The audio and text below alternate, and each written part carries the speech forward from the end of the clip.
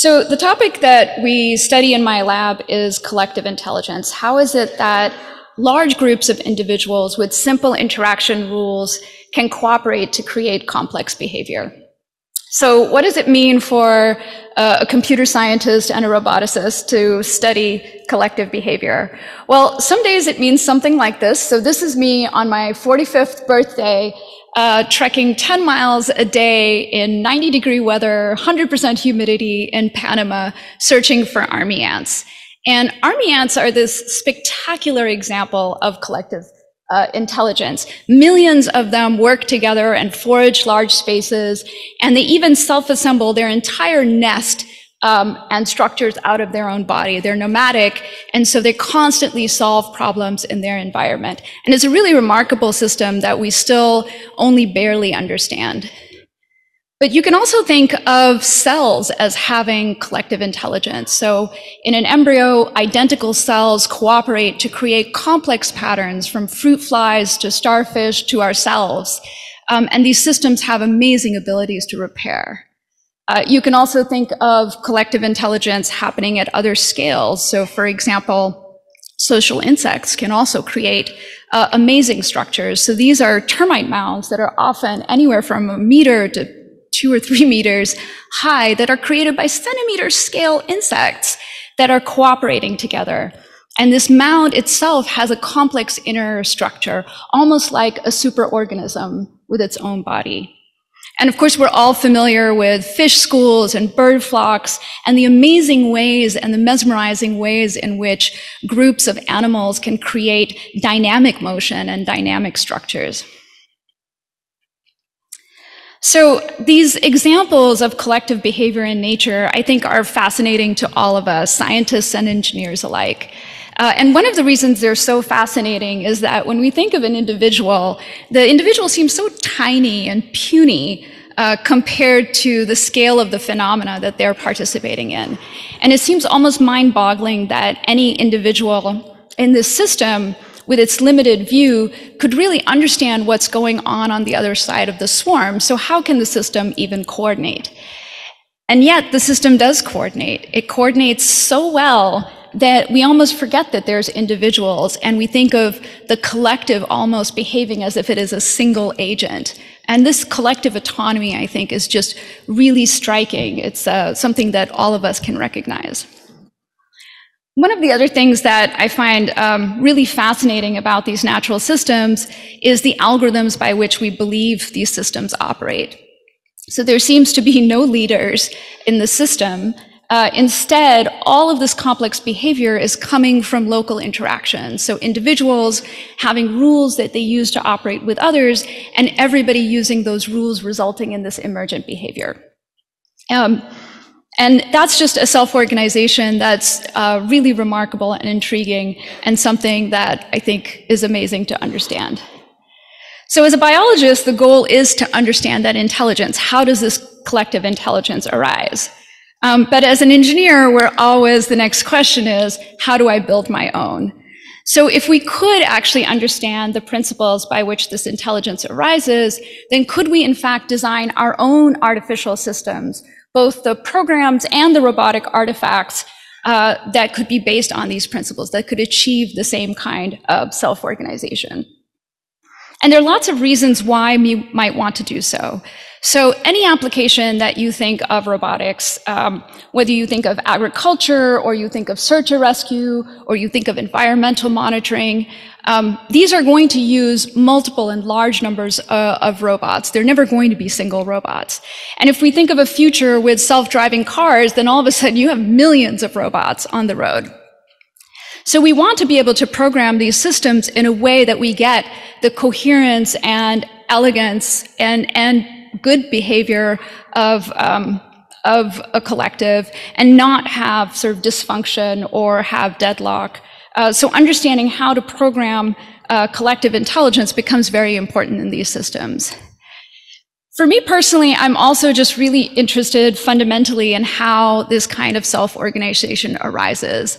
Um, what are the kinds of rules that result uh, in simple agents achieving complexity? Are there, for example, universal principles that you would see that would be, appear in cells and ants and fish and human, and therefore also robots. Um, and if we could find these principles, um, what would they what would they allow us to do? So that's kind of what my lab works on. Um, we're inspired by these biological collectives, and we build robotic systems to try and emulate what we've learned from the biological systems. And we're both interested in the collective intelligence. So what are the kinds of rules that lead to this large-scale cooperation? But we're also really interested in the morphology, in the embodiment of the AI. So what is it about the physical interpretation of the biological agent and communication, how do we think about the mechanical intelligence that is also playing a role? So this combination of collective intelligence and embodied intelligence in creating these systems. So today I'm going to tell you about a couple of projects from my group, uh, inspired by exactly the, the four examples of natural examples that I've been alluding to. Um, and the, the key theme that connects all of these uh, four examples is that in all of these cases, the collective is trying, is creating some sort of structure. So there's some sort of self-assembly or shape that is being created by the collective. All right, so let's start with cells. So as I said, cells um, are pretty amazing. They create amazingly complex structures. This is a starfish, and of course, uh, well, I guess the starfish is the of course. And the other one is a picture of a fruit fly embryo. So how is it that cells, uh, what do cells actually do? Um, so as a graduate student, I first learned about how cells organize through this beautiful article by Nusslein Volhard, uh, who won the Nobel Prize in 1995 for her discovery of uh, how the fruit fly embryo organizes itself. And what she found is that there were specifically um, special kinds of cells called pole cells, or just initiating cells at the end of the embryos that would create a chemical gradient across the embryo. And she called this chemical gradient a morphogen. And then the rest of the cells could use the strength of these morphogens to interpret the, their position in the pattern. And so suddenly this allows thousands of cells to reliably organize the stripe-like patterns that create the segmented uh, insect body. So that's sort of what you're seeing with these stripes. So what if we could create our own active material of robotic cells that did the same thing? So we have thousands of robotic cells that can self-assemble a pattern and shape. We can program them with our own identical DNA rules that encode the shape we want, maybe a starfish, maybe a fruit fly, maybe a wrench. Um, and all through purely local interactions create a kind of global structure. Now, of course, this is the stuff that science fiction movies are made of. So if you've seen Big Hero 6, you know, the millibots are essentially this idea. But it's also the futuristic goal that has uh, motivated the field of programmable matter within robotics. And our goal is to be able to create tiny robotic modules, mass manufacture them in the thousands, and then program them uh, to create versatile, to achieve versatile goals. That's sort of the idea behind programmable matter. And morphogen gradients and cells actually inspired a lot of us in the field. There are many self-assembly algorithms and programming languages that were invented based on the idea of morphogen gradients. But it was really uh, almost two decades later uh, before we were really able to test these ideas on a thousand robots. So I'll show you a video of the Kilobot system, which is our thousand robot system. And here you can see the Kilobots, all thousand of them. And you can see Mike Rubenstein, who led this project. He's now a faculty member at Northwestern. Um, so each robot is a very simple and minimalist agent. It can move and turn. Um, it can move straight and turn, and it communicates wirelessly with a small neighborhood of other robots. And so as the message propagates through the system, that's how the group coordinates. So one robot talks to, to its neighbors, its neighbors talks to its neighbors, and all of the coordination has to be achieved through these local interactions. All right, so using the kilobots, we can actually implement something like an artificial morphogen. And so the idea is if you look on the left, um, imagine that you have a seed robot here, and the seed robot has, sends a message to its neighbors, and then its neighbors send that message to its neighbors, and each time they propagate the message, they decrement the value. And so now we're creating an information gradient that mimics the idea of a chemical gradient.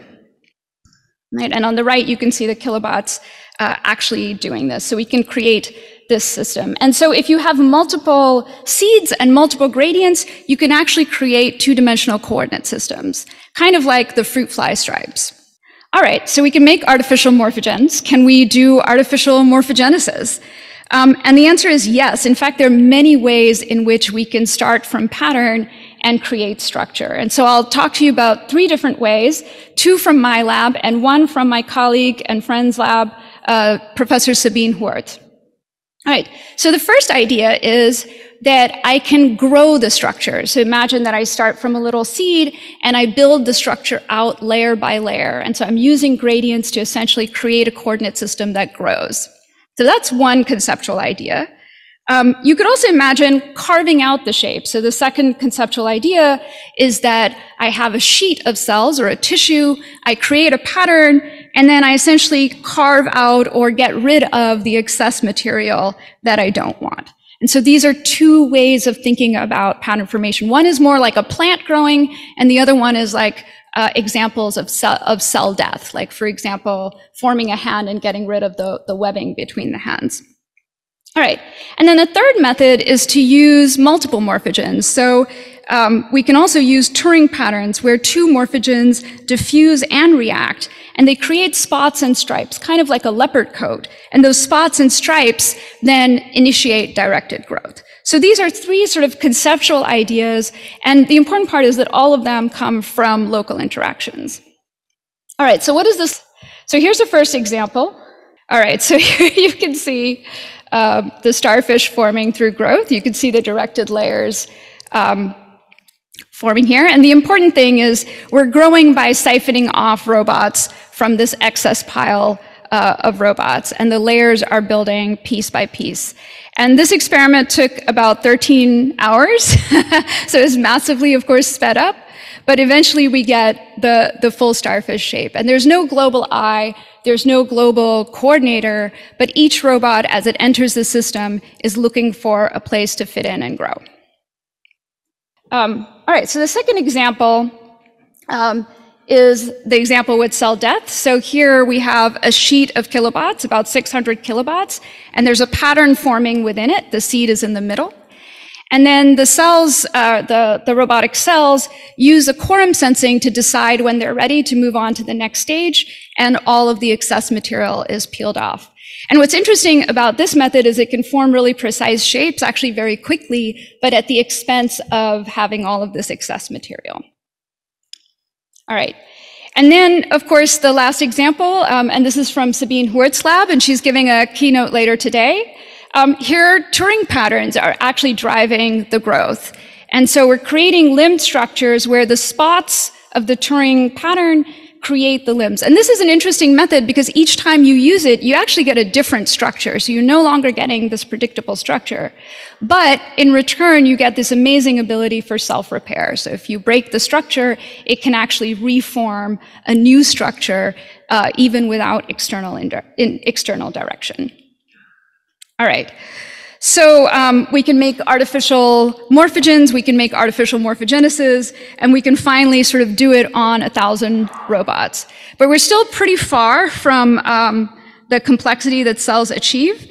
I think what's most exciting is that through this, uh, through the system, we're able to close the gap between the virtual and the physical and get closer to that feeling of a multicellular organism where you sort of forget that there's cells involved at all and in fact just see the collective entity as, as a single agent.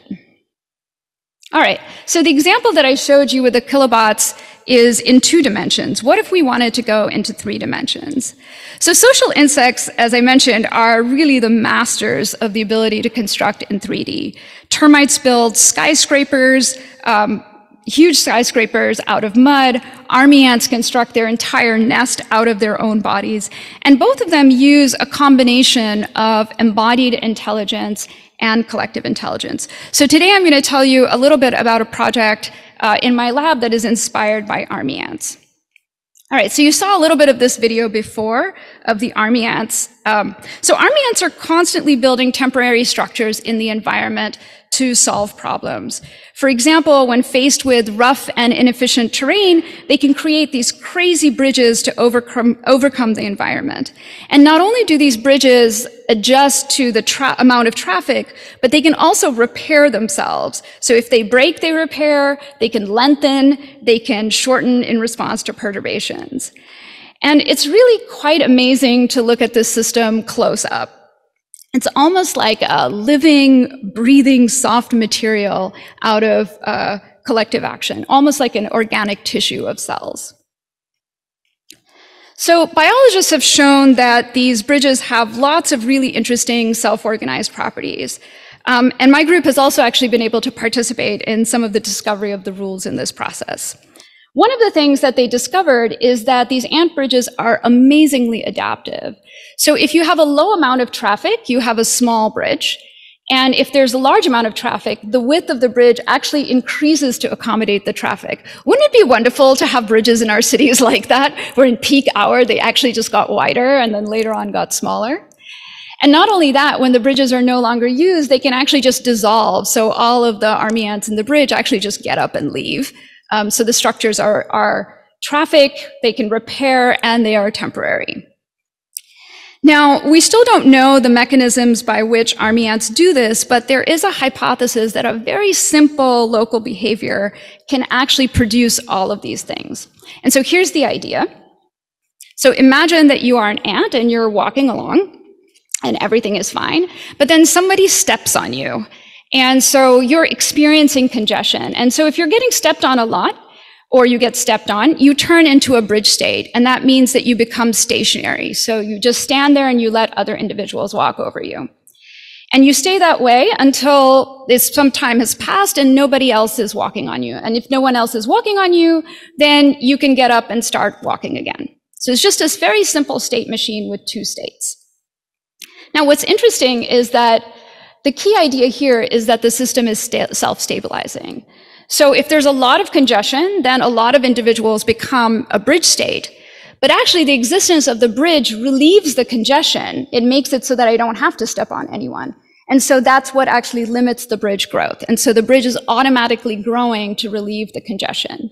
And of course, if I take away um, the traffic altogether, then the individuals will start to leave. And so disassembly comes from that second piece. So this very simple rule potentially can explain a lot of the behavior that we're seeing. The second sort of interesting thing about ant bridges, which biologists take for granted, but maybe is, is more relevant for roboticists, is that the bridges that army ants make are very amorphous and messy. Um, very unlike how we think of human bridge construction with lattices and trusses that allow us to have um, a lot of um, precision and strength and efficiency. And so what do you get if you make these messy bridges? Well, you get two things. One thing is that the assembly is actually really fast. So army ants don't have to reason about precise arrangement or precise alignment. You can attach anywhere and very quickly create these structures. And then the second thing is that the bridge itself becomes this soft compliant material. It's almost like a polymer that is self-constructed itself. And that can fit into unstructured environments and even absorb changes. And this really makes sense uh, that such a system would evolve when the goal is to very quickly make temporary structures in this really unstructured and complex environment. So imagine that we could create uh, ants, or we could create, well, not create ants, but create a robot swarm that could do what army ants do. So if it's a difficult terrain, then the robots self-assemble a bridge or a ramp or a chain or a tower, whatever is needed to get over the terrain uh, to solve the problem in their environment. And then when the task is done, they can just disassemble and move on. I mean, that would be an amazingly powerful robot swarm. And this is the idea and the vision that inspired the Eciton Robotica project. Um, jokingly adding a species to the to the Eciton genus. And this was led by Melinda Malley um, in my group as part of her PhD thesis. And we focused on both of the aspects that I mentioned: the embodied intelligence, how are we going to build soft, messy bridges, and the collective intelligence. What are the kinds of rules of self-assembly that would allow us to be adaptive? All right. So I'll start by showing you Melinda's hardware design of a soft climbing robot. Uh, it looks nothing like an ant, but it does embody the principles of uh, amorphous and soft self-assembly.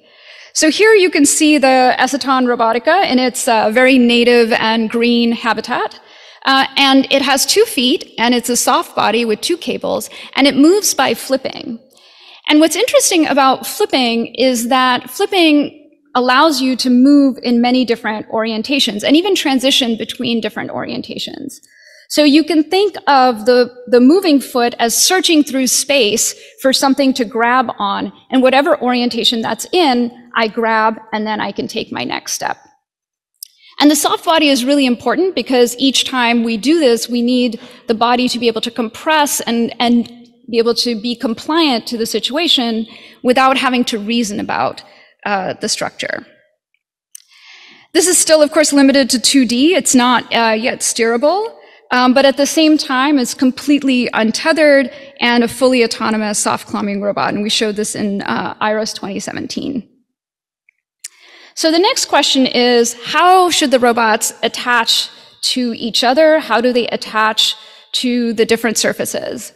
So here um, we use a gripper that attaches to Velcro and foam, foam-like structures um, that was designed by Melinda, and there'll be a sort of close-up shot in just a second.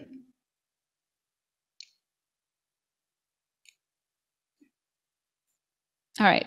So Melinda was really inspired by the idea of uh, tarsal hooks that can grab into textured surfaces. So our robots have grippers and they have stretchable skins. And so the gripper works with these corkscrews that can wind into surfaces like foam or uh, surfaces like Velcro and unwind to let go. And so now the important thing is that the robot can actually climb over another robot and it can attach anywhere along the body of the robot. So there's no longer any need for precise alignment or um, any kind of negotiation between the, the robots at all. And we're still working on making this climbing more uh, reliable. As you'll see, it's not always quite as reliable as we hope. Um, but again, we can have uh, multiple structures and the um, gripper itself is really strong, and so we can imagine creating cantilevers or chains in the future. All right, so the next step is the collective intelligence. So if ants can detect that they're walking over each other, we need the robots to detect that they can walk over each other. And we use vibration in order to detect that. So here you can see two robots that are fully autonomous um, that are basically running now the full, the full two-state algorithm. So the top robot uh, is climbing, and eventually it'll climb over the bottom robot. All right. And when it does so, the bottom robot senses that it's being walked over and decides to become stationary and become a temporary bridge. And this allows the top robot now to climb over um, and continue its journey. And then the bridge robot, a little bit too quickly, decides to leave, and, and then it actually escapes our confines. Um, but these are our, our first experiments with, uh, with two robots. All right. So um, that's two robots. What happens when we have hundreds of robots running those particular rules? So here you can see an abstract simulation. We're simulating sort of the flipping robot um, as a rigid flipping robot that makes compliant joints.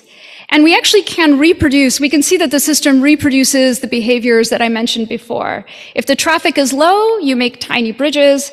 If the traffic is really high, you start to make larger bridges and the bridges are self-stabilizing. Um, and here you can see sort of the dynamics of bridge connection and also some trapped robot. And then if we stop the traffic, then in fact, the bridge starts to disassemble and eventually all of the robots are able to continue along their journey.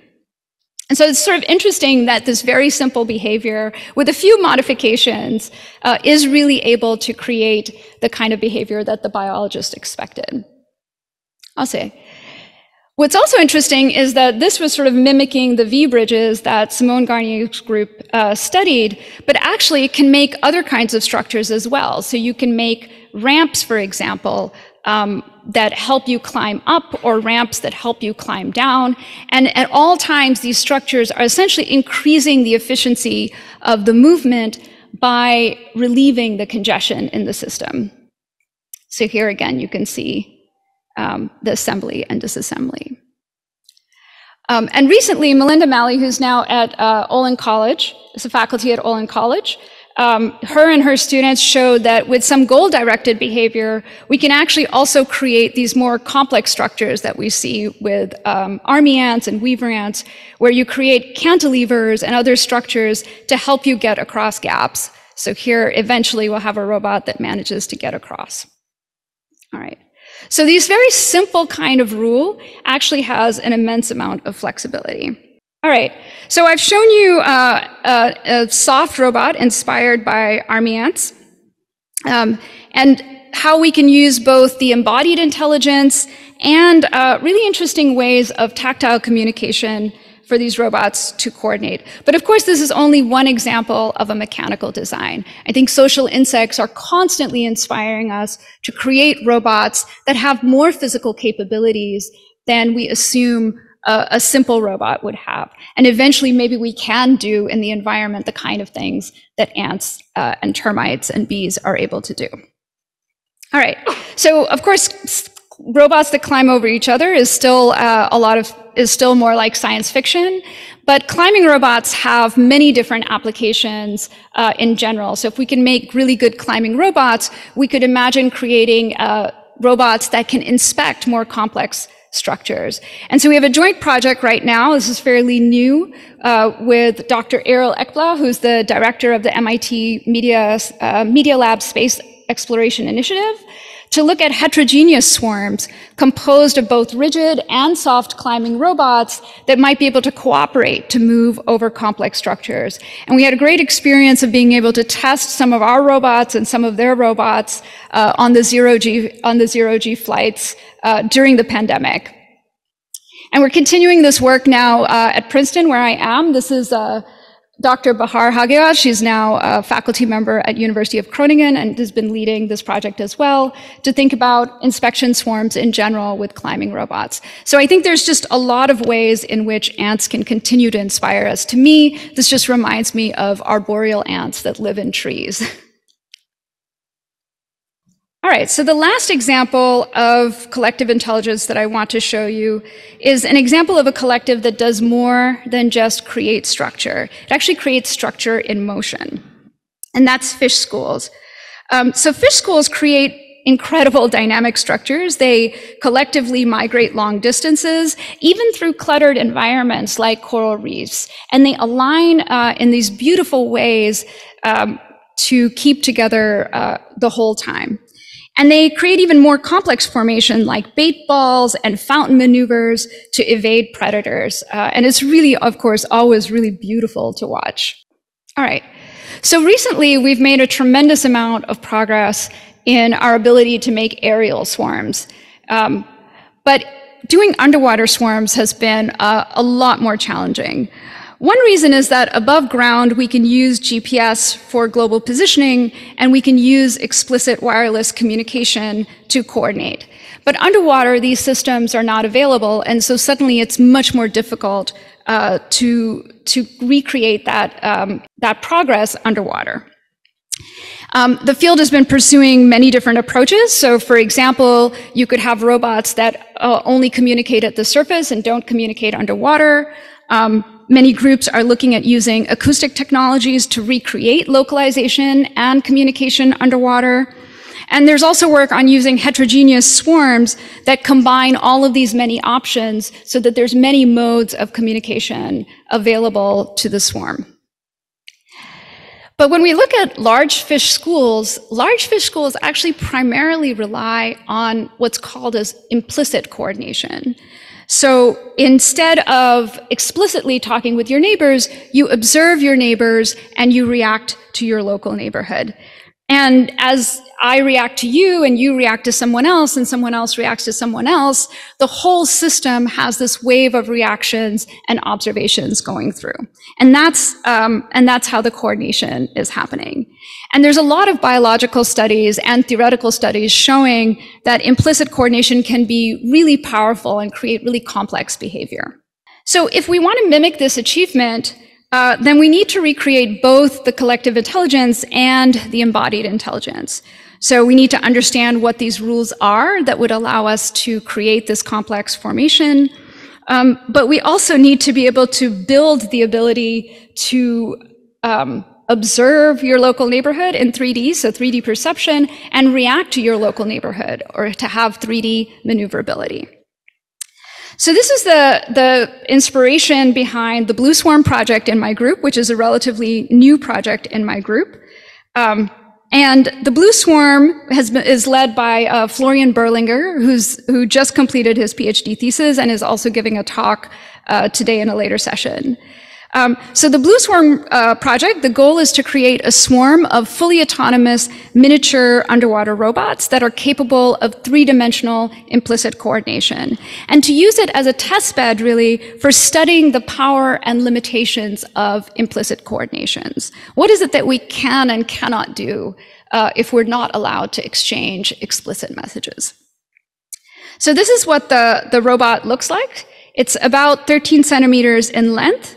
Uh, and 3D motion is achieved with multiple fins that use a simple magnet and coil actuator. And these actuators are really small and can be submerged in water. And then 3D perception is, is achieved with two wide angle cameras that give us an almost complete 360 view. And we use these blue LEDs to detect the position, distance, and headings of neighbor robots, so usually using three LEDs. Um, from a bluebot's point of view, though, in a crowd, what you see is a whole bunch of dots. um, and somehow we have to turn this notion of visual perception of dots into a notion of neighborhood. How many neighbors do you have? Where are they? And what are they doing? Um, and of course, there are errors from occlusion, ambiguity, reflections. Um, but it turns out that just with this uh, simple but three-dimensional perception, of our neighborhood, we can start to experiment with many different forms of self-organization underwater. And so we've been looking at many of the classic examples of self-organization um, that people have studied theoretically, implementing them in the Blue Swarm. All right, so what's an example of something that you can do with implicit coordination? Um, so the most classic example, of course, is flocking or, or schooling. Um, and in the 1980s, the late 1980s, there was a very famous paper, which maybe many of you know, called Boids, uh, written by Craig Reynolds, where he described the behavior of bird flocks and fish schools with a simple combination of three local neighborhood rules. So the idea is that I look at my neighborhood and I try to align with my neighbors, and I am a little bit repulsed by my neighbors because I don't want to collide with them, but I also want to be close to them. So I have alignment, repulsion, and cohesion. And this was inspired by decades of studies on fish schools.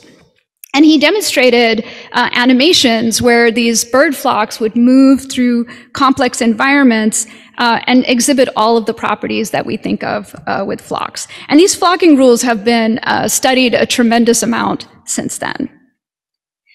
But fish do a lot more than just flock. Um, they actually build, make really complex uh, formations, complex dynamic formations. For example, circular mills, or as you can see here, a fountain maneuver when they're evading predators. So I'll tell you about two other dynamic formations that can be achieved through implicit coordination and show you a little bit of um, what they look like in the blue swarm. All right, so the first one is milling. So you could think of milling as essentially flocking in a circle. Um, and there are several groups that have shown, um, from a theoretical point of view, that milling can be thought of as a special state in flocking. So if you pick just the right parameters for alignment, repulsion, and cohesion, then in fact the group will start uh, creating these dynamic structures. Um, but this assumes that each robot can sense all of its neighbors' positions and headings. Um, in, in some recent work, uh, in 2014, um, Roderich Gross's group uh, in Sheffield showed that in fact you could achieve a milling-like behavior with a much simpler and minimalist uh, algorithm. And in this algorithm, a robot all it does is it looks for the absence or presence of robots in front of it. So if there's a robot in front of it, it takes a kind of evasive action to the left. If it's not, then it starts to slowly move to the right. And what's really interesting about this system is that when you program up robots to do this, In fact, the only stable state in this system is for them to end up in a circle and equally spaced in the circle. So no individual robot is really trying to be in a circle. The size of the circle is actually not encoded in the program at all, but the entire behavior emerges from these very simple rules. Um, and this is really great because it asks very little of the robots in general and produces this, this beautiful milling behavior. So this is what it looks like in the blue swarm with our seven, uh, our seven robots. And you can see the robots start to uh, form a circle. Um, and every so often they hit the walls of the tank, which perturbs the circle, but the circle actually continuously repairs.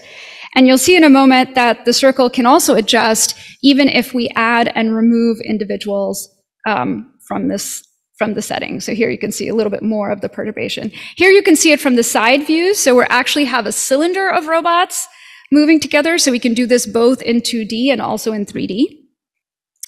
Um, and this is just showing the trajectories. So with the blue swarm, we actually try to log all of the behavior so we can compare um, the physical system to the theoretical system and understand what are the differences that we see when we try to implement these systems. So here you can again see the group um, making a small circle, and then Florian adds some robots. Um, I know it really looks like he has a bucket full of dead fish or alive fish. Um, and each time we have different numbers of robots, the size of the, the circle adjusts.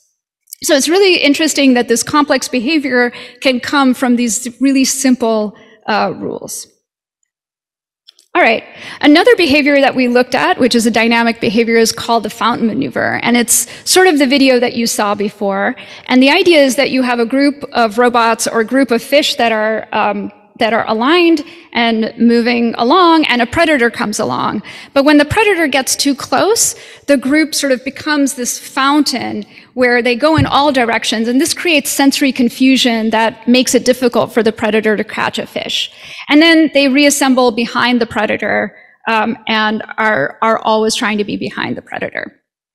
So this seems like a really complex formation, but actually, um, it was proposed that this formation comes also from a very simple potential behavior from fish. And the idea is that when the predator is close, a fish attempts to escape the predator by by angling the predator to be behind it. So if you imagine that I have a blind spot behind me, I'm trying to keep my predator almost at the edge of my blind spot behind me. So if you look at this image over here, what's happening is depending on where I am relative to the predator, I actually will try to make my heading so that it creates a fountain-like structure. So in fact, all of the individual uh, fish, when they react to the predator, create individually this beautiful display. So you have escape plus alignment. And when we program up robots to, to follow these rules, this is again um, a simulation of what it looks like. So here's the predator, the individual robots then try to keep it at the back of their group, and then they reemerge and uh, align behind the predator.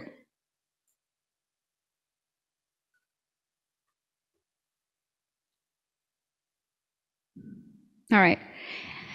And here's what it looks like uh, with BlueBots. These experiments were actually all conducted during the pandemic, so I have to say that both Paula Wulkop and Florian, who did this, it was an amazing uh, labor of love. Um, but the predator can move through the group, and we actually have uh, the robots able to create these structures. And so the first thing that we need to do is align. Um, and so here you can see uh, some studies on the alignment. So this is a top view from the side. You can see the three LEDs, and the robots are trying to align with each other, um, but in a stationary form. And then the second piece is escape. So we bring a predator through the group. You see a predator in a second. The predator is essentially a, a red fish, but really it's a it's a red stick being moved by, by Florian or Paula. You can see the individuals sort of try to keep that stick at towards its back. So here it is from the top view. And, and we were able to do a couple of experiments in a much larger tank as well. It's a little bit harder to see. All right. Um, so we're beginning to be able to program these kinds of dynamic structures. Of course, the swarm is still really small, so we have a lot to do to be able to get, maybe not to a thousand robots, but it would be nice to be able to get to a fish school uh, or a bluebot school of a 100. Um, and of course, we have a lot more to do to get out uh, into the wild. Uh, these are the robots actually taking an outing at uh, Walden Pond. But I think through these systems and through these test beds, we are starting to uncover the power and ability to program systems purely through implicit collect, uh, through implicit coordination. And eventually in GPS denied environments, uh, or com communication denied environments, these are the kinds of algorithms that we can use. All right, how am I doing? All right, so what can thousands of individuals do as a, a collective? So I want to um, end my talk by pointing out that, uh, of course, science is maybe one of the most important things, uh, at least humans are doing as a, as a collective intelligence. And so all of the work that I presented today is itself the product of collective intelligence. Um, I have this great group of people with whom I get to work uh, scientists, engineers, mathematicians, and truly working together, we are uh, we have been able to transcend what we bring to the table and become uh, more than the sum of our parts. I also wanted to say that it's really exciting for me to to be here uh, in Japan. In fact, my robotics journey started, my first robotics conference was here uh, when IROS was here in 2004 in Sendai. Uh, and I came here with my friend and colleague, Kasper Stoy. And at the time, I had zero robots. Um, and I had zero ambition to have robots. So it was really exciting to come back in 2022 with thousands of robots in the lab and many more thousands of robots commercially uh, in other people's labs and in, in people's homes. So uh, thank you so much. Uh, I'm really honored uh, and excited to be back here. It's been quite a journey. Um, and I wanted to end by um, making a special thanks to a very special collective whose activism, courage, hard work, and very deep friendships uh, really made this journey for me possible. And sorry, this is obviously very emotional for me. And I especially want to thank uh, three senior women um, who've made an enormous difference to my career. All three of them are pioneers in their own research area. And even as they faced so many odds as women themselves, they always took out the time to fight barriers and open doors uh, for women like me.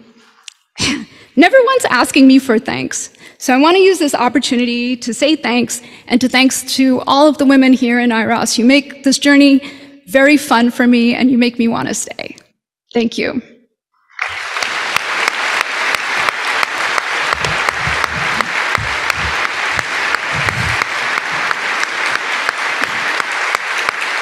Thank you. Thank you so much, uh, Radhika, for that inspiring talk with uh, amazing visuals, and I'm just now imagining all the things that I want swarms of robots to do for me. Um, we have time for questions. If you have a question, please come down to one of the microphones, and uh, and we'll hear from you. We'll start over here. Hello. Good morning. Thank you very much. Hello here. Got it. okay, you got it. I'm Toshi Fukuda. Uh, I'm very, very uh, enthusiastic about your work because I like those kind of uh, swarm robotics, collector robotics, such a thing. Uh, particularly, I have a kind of uh, two questions because you are so fantastic research of killer robot or everything. Uh, first of all, you have a kind of nice kind of robot, and can you tell us such a kind of uh, communication, how to give a kind of command to everybody for such a killer robot, or even all the kind of V-shape, such a kind of bridging robot, whoever it is, uh, it's a kind of actually. Maybe I'll the, answer in, the first in, one. Yeah, in the nature, right? There's also pheromone or something like kind many other kind of chemical gradient, whoever it is. So this is a first question. Okay.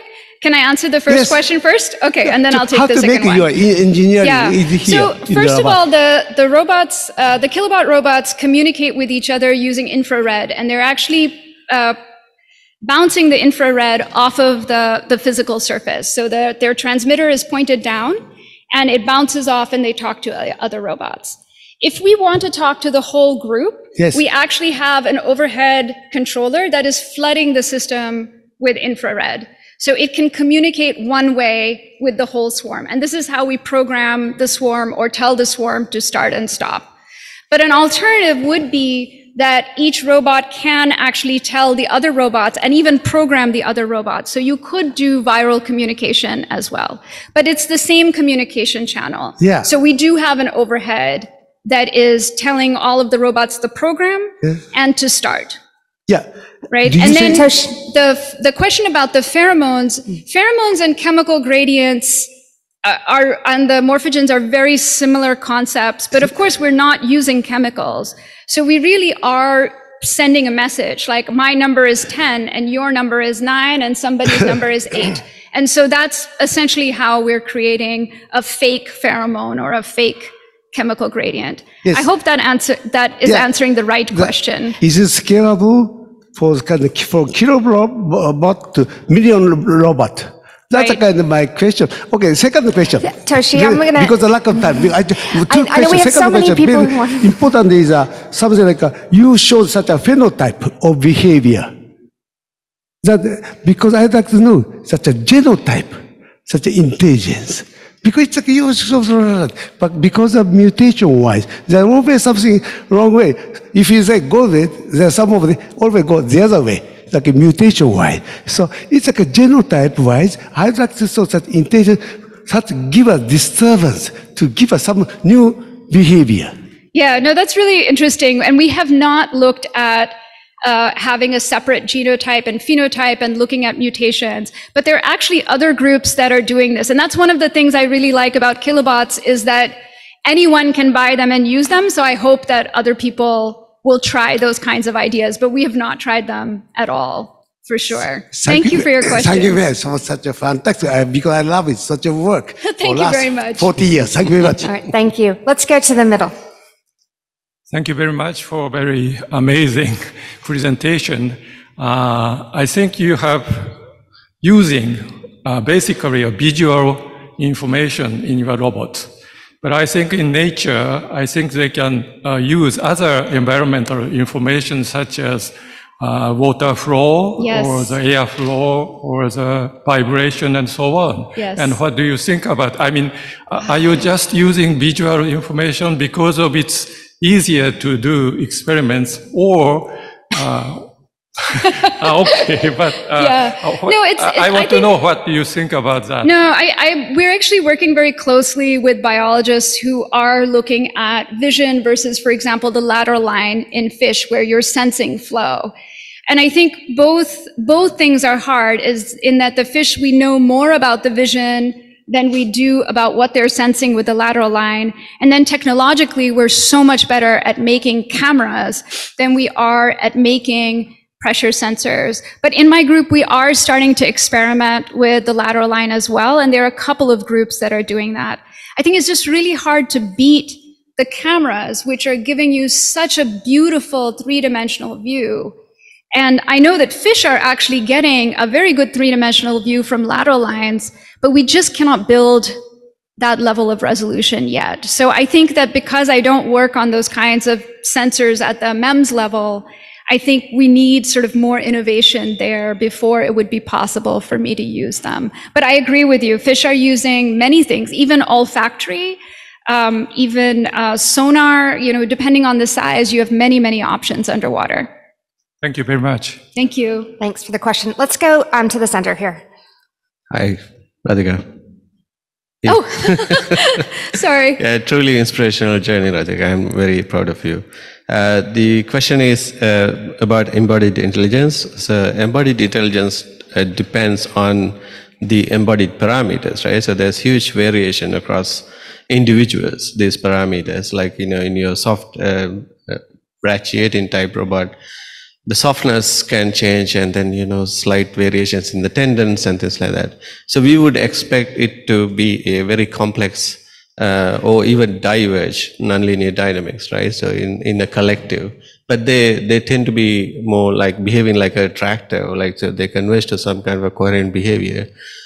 How do you think is what what what is what are the guiding principles do you think in a collective that brings this diversity together to some kind of a meaningful behavior? No, that's a really interesting question. I mean, these systems are really hard to model, especially, I mean, the whole field of soft robotics is sort of struggling with the, the modeling aspect. But I think for me, the thing that I look for in mechanical intelligence is what are the embodied or mechanical intelligence that actually reduces variation. So, so if you think of the body being soft, we're actually using the body as a shock absorber. So it's really the compliance that we're using. Mm-hmm. And compliance is actually like absorbs variation, right, in a way. So a lot of, I would say, you know, now that you're asking me, I'm thinking that lots of the systems that we have relied on in the embodied one are examples that reduce variation rather than create it. Mm. So they're basically absorbing the variation in the environment, they're absorbing the randomness in the environment, and sort of making it so that the behavior is simple in spite of it.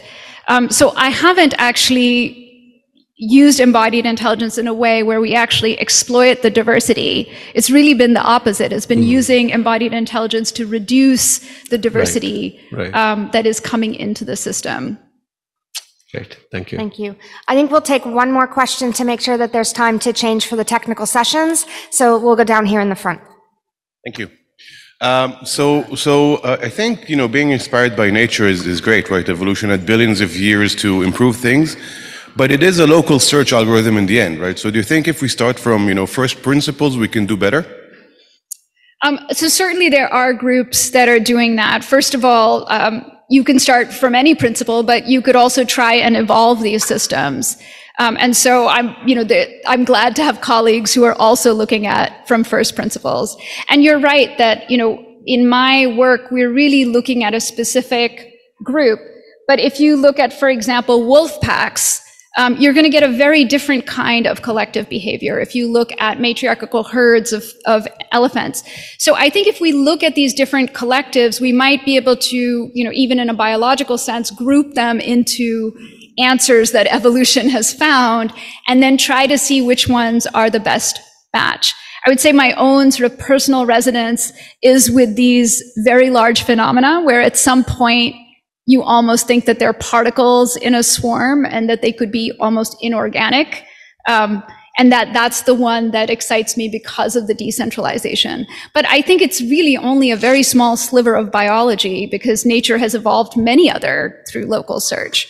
Um, so I think both looking at first principles and then secondly, also looking at other kinds of collectives, right? Human collectives, wolf packs, uh, groups that are smaller and what kinds of roles and diversity and, and mechanisms are used in that, I think is really, really important. So this is definitely only one viewpoint. Thank you. Thank you. Thank you all for attending and the great questions. Uh, let's thank Dr. Nagpal one more time for her really inspiring talk.